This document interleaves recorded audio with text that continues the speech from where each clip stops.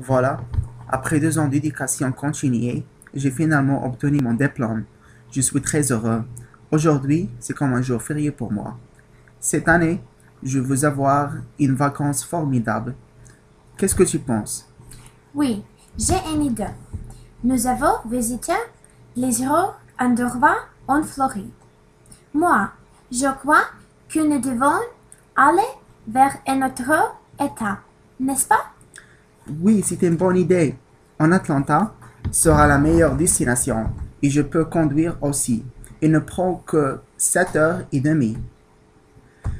Nous sommes maintenant à l'hôtel en Atlanta, très fatigués, mais avant je me couche, je dois téléphoner ma famille pour se dire que nous sommes arrivés.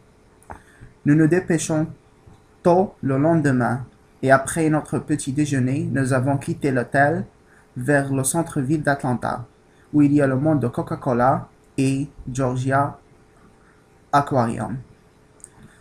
Au monde de Coca-Cola, nous nous sommes très amusés. J'ai l'opportunité de goûter les différents produits de Coca-Cola de tout le monde et aussi prendre une photo avec Louvre.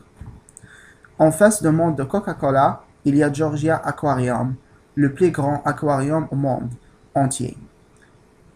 Nous avons pris quelques photos avec les poissons et nous nous sommes sentis comme d'être dans l'océan. En général, notre vacances en Atlanta était formidable. On a un beau temps.